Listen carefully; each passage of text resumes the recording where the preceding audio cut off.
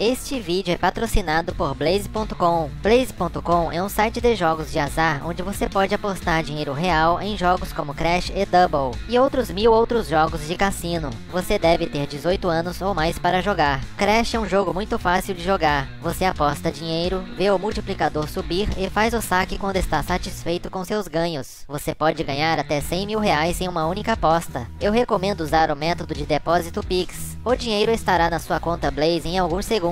Para saques, você pode usar saques bancários, que é uma maneira fácil e segura de colocar os fundos em sua conta bancária rapidamente. Inscreva-se agora com meu link especial na descrição e receba um bônus de boas-vindas que consiste em um bônus de até R$ 2.500 e 100 rodadas de Crash grátis. Enquanto isso, o Felipe Neto declarou em seus stories que está sofrendo um complô por parte das principais páginas de fofoca do Instagram. Ele disse que nenhuma delas noticiou o fato dele ter sido vítima das fake news envolvendo o falecimento da cantora Marília Mendonça. Nos últimos dias, surgiu na internet um print falso de um tweet em nome do Felipe Neto, dizendo que a queda do avião que levava a cantora sertaneja foi fruto da semente do ódio plantada em 2018. Felipe ficou tão revoltado com esse print que pediu que seus fãs compartilhassem a notícia, explicando que o post é fake news, e aproveitou para questionar por que as páginas de fofoca do Instagram não postaram essa notícia, sugerindo que exista esse complô. Confira. Fala galera, é, eu queria pedir a ajuda de vocês, tá?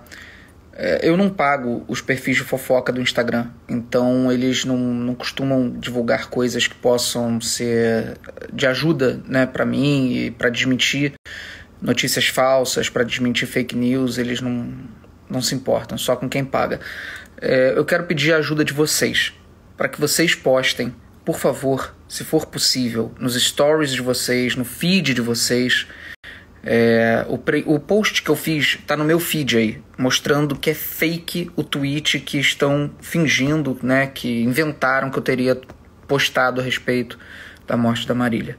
Eu preciso muito da ajuda de vocês, porque é a única forma da gente vencer a mentira com a verdade. Eles vão espalhar esse tweet o máximo que eles puderem. Então, quanto mais pessoas promoverem dizendo que é mentira, mais a gente consegue aniquilar essa mentira rapidamente.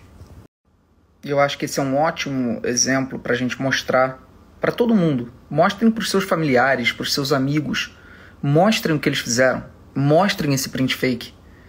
E falem: olha até onde eles são capazes de ir, de chegar, para tentar arruinar as pessoas que eles discordam, que eles são contra, que eles acreditam que são inimigos. Mostrem, gente. Espalhem a verdade. E também a notícia!